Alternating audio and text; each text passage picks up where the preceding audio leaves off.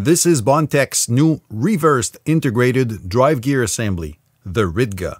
It is apparently more precise and should yield better print surface quality. Let's give it a look.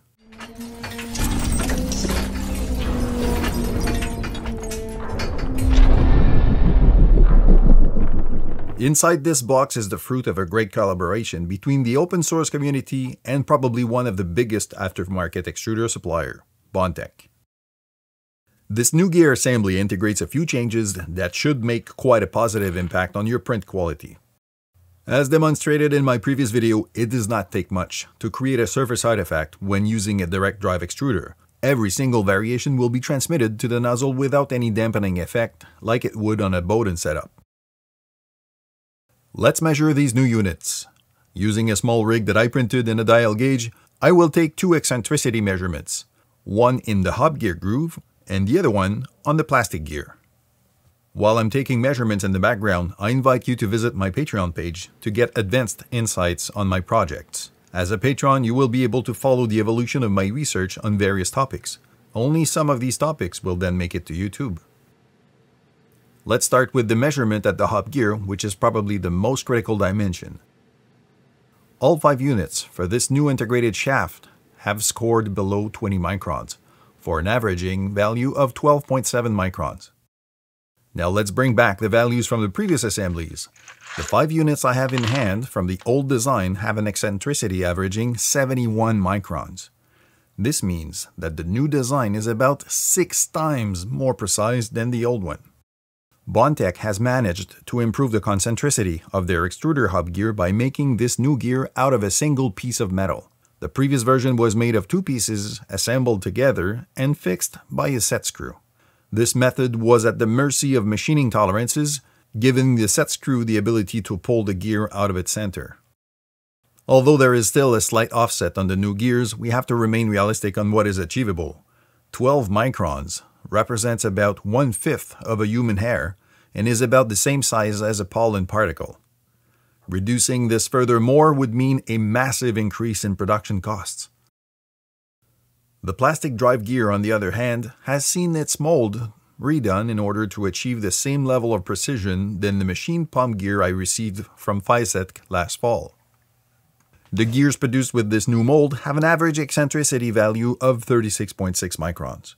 If we compare with the previous design, we can observe two things. First, the new gear is definitely more precise. Second, the variability in the production process from the previous design made it a hit or miss story. I only have 5 units of this version, so I may have been unlucky with this rogue unit at 200 microns. This is the height of a print layer. The average value for all these 5 units is 132 microns. Now that we have the data, let's put those readings to test.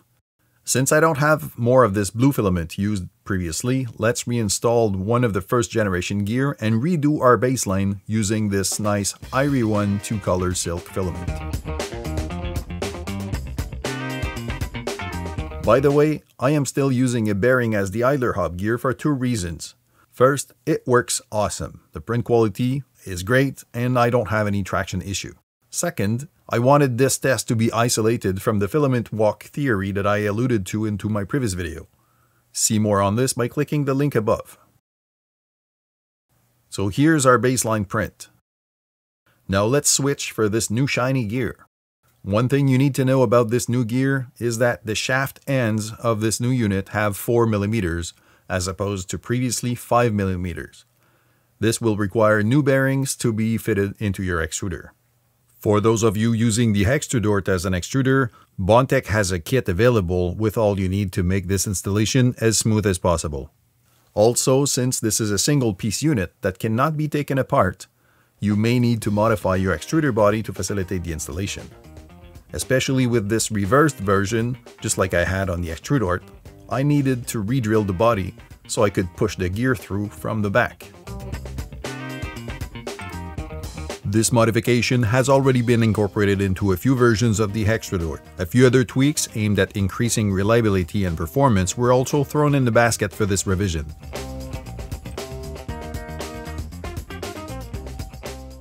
And off we print.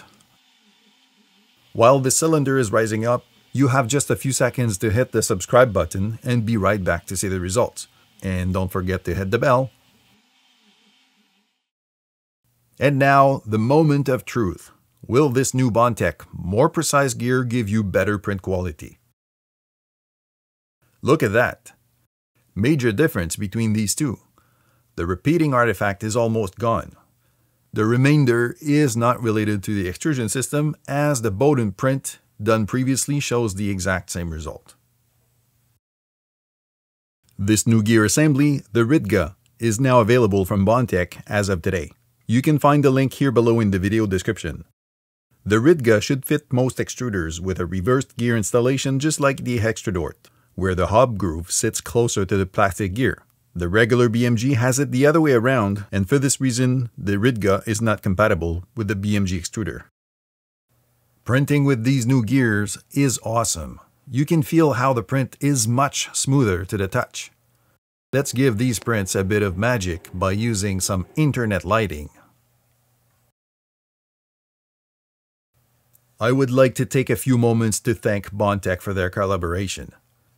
The community has used their components into a variety of tiny drive extruders sometimes mounted in ways that were never intended to or covered by the original design. We pushed these gears to their limits, and we realized we needed more. Thank you Bondtech for listening to our request and making this a success story. And special thanks to my friend Nuno at Bondtech, who's been such a great facilitator along the way. Thanks for watching, and let me know if you get to try these new gears, how you like them. Meanwhile, Happy printing!